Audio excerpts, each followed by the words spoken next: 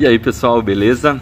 Ó, hoje uma dúvida bem simples que surgiu aqui nesses comentários do vlog. Se você está chegando no vlog pela primeira vez, esse aqui não é o canal do Manual do Mundo, é um canalzinho bem menorzinho em que eu explico coisas que eu aprendi naquele dia. E se você quiser se inscrever, clica no sininho aí, porque se você só é inscrito no Manual do Mundo, não vai receber as notificações, fechou?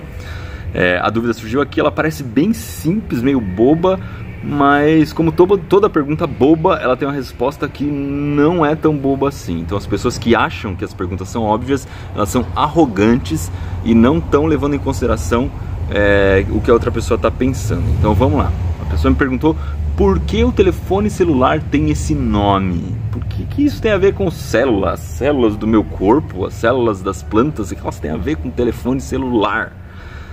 Eu tinha uma resposta decoreba para dar, porque todo lugar que você vai ler porque tem esse nome, a resposta é bem simples, eu só vou falar no final essa resposta decoreba que você tem a impressão de que aprendeu, mas não aprendeu, só está repetindo uma frase. Isso é decoreba.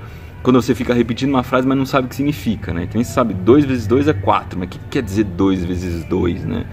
Não entendeu a multiplicação, sai que nem um papagaio falando decoreba. Então, fui a fundo para descobrir por que o telefone celular chama telefone celular. Primeira coisa, telefone celular é um rádio.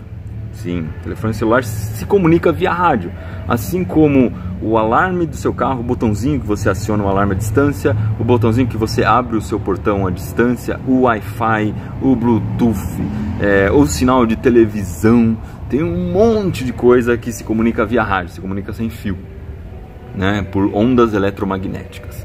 Então vamos entender primeiro o rádio que a gente ouve, o rádio do carro, né? Aquele rádio que você ouve música e tal. Funciona assim, tem uma antena bem grande, que ela fica em um lugar muito alto e ela transmite para uma região gigantesca. Eu, por exemplo, gosto de ouvir a CBN, que é a rádio de notícias, e a 89. A CBN está tem uma estação, um número, né, que você consegue pegar, que é a frequência que você consegue ouvir. É como se fosse um tipo de onda eletromagnética que ela usa. Se você for pensar num arco-íris, se fossem cores, é como se ela usasse uma cor específica para se comunicar. Nenhuma outra rádio naquela região pode usar 90,5 MHz, porque vai atrapalhar a CBN, vai entrar em conflito. A 89 é como se ela usasse outra cor do arco-íris. Ela usa 89,1 MHz. Então ela se comunica lá naquele número. Dentro da faixa da FM, você pode ver que lá no rádio do carro tem só alguns números. Ele vai a mais ou menos do 88 até o 107. O que eu me lembro de cabeça é mais ou menos isso, né? O 87 até o, o 107, mais ou menos. E dentro daquele espaço existem um, existe um número infinito de rádio, finito, poucas rádios podem usar aquele espaço. Então, sei lá, hoje você pegar um rádio aí em São Paulo, que é uma cidade muito grande, você consegue pegar umas 30 rádios no máximo. Mais do que isso, uma começa a interferir na outra, tá? Aí foram inventar um telefone que usa uma tecnologia parecida, um telefone que funciona via rádio, que pode funcionar sem fios. Primeiro probleminha, se você vai ter um telefone, você vai ter que receber o som, mas você também vai ter que mandar o som. No rádio você só recebe, então você usa só um número lá. O celular tem que usar dois, ele tem que usar como se fosse uma cor do arco-íris, vai o vermelho para receber e o verde para mandar. O celular também transmite rádio, ele não só recebe. O rádio de casa só recebe, o rádio do carro só recebe. O celular não, ele recebe a voz da outra pessoa e tem que transmitir a sua. Então ele tem que usar duas duas frequências diferentes. Aí já é um probleminha. Outro problema. Lembra da faixa do rádio, cabe lá umas 30 rádios mais ou menos. Se eu for usar uma coisa parecida, eu vou ter 30 celulares falando ao mesmo tempo, só que como uso, usa duas vezes, né? Então é 15 celulares falando para uma cidade inteira? Não dá, esse sistema não serve. Então eles inventaram, aí sim, é o sistema do telefone celular, por isso que ele chama celular. Em vez de usar uma antena gigantesca que transmite a 100 km, que nem tem no rádio, uma região imensa, vamos usar uma anteninha pequenininha, uma anteninha que você bota lá em cima do prédio, bem mais fraca, muito mais fraca, que ela vai atingir uma região de mais ou menos, vou chutar o número, tá? Mas é mais ou menos isso mesmo, uns 2 km de raio. Então só uma pessoa que tiver no máximo 2 km daquela antena vai conseguir usar aquela antena. Qual que é a vantagem de usar uma antena fraquinha? A vantagem é o seguinte, que longe, na outra cidade, lá na outra cidade, você pode usar outra antena com as mesmas frequências.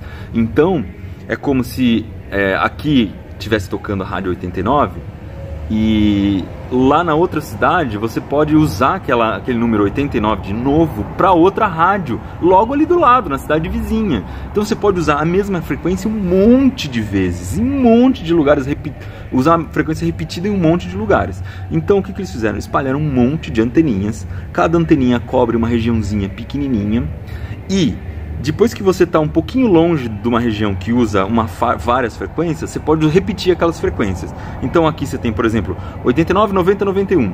A, a, a vizinha, a região vizinha, usa 92, 93, 94. A outra usa 95, 96, 97. Aí a próxima volta usa 89, 90, 91 de novo. Assim, uma frequência nunca vai interferir na outra. O seu telefone celular nunca vai entrar em conflito com o telefone celular que está perto de você. E muita gente vai poder usar o sistema. Sabe como eles chamaram cada regiãozinha que cobre por manteninha?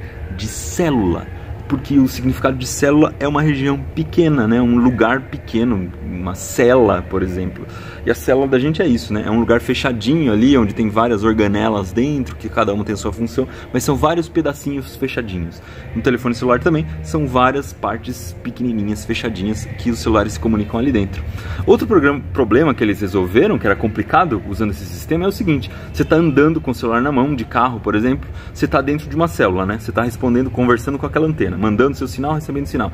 Aí você troca de célula, você começa, foi para longe daquela antena, a outra antena você tem que trocar de frequência de repente. E essa troca é uma coisa que o celular também faz automaticamente, que é uma coisa inteligente que, foi, que teve que ser inventada por causa do sistema celular. Então é isso.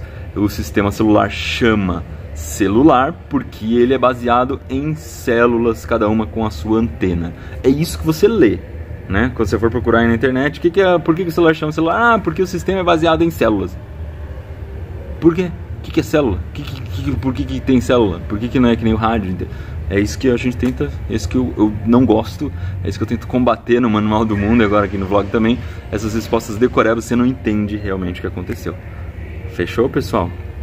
Então, se vocês tiverem qualquer dúvida, coloquem aí nos comentários alguma dúvida que você acha que é boba que você tem, mas que agora você vai perder a vergonha de fazer porque sabe que dúvidas bobas não existem. Até amanhã, pessoal. Valeu.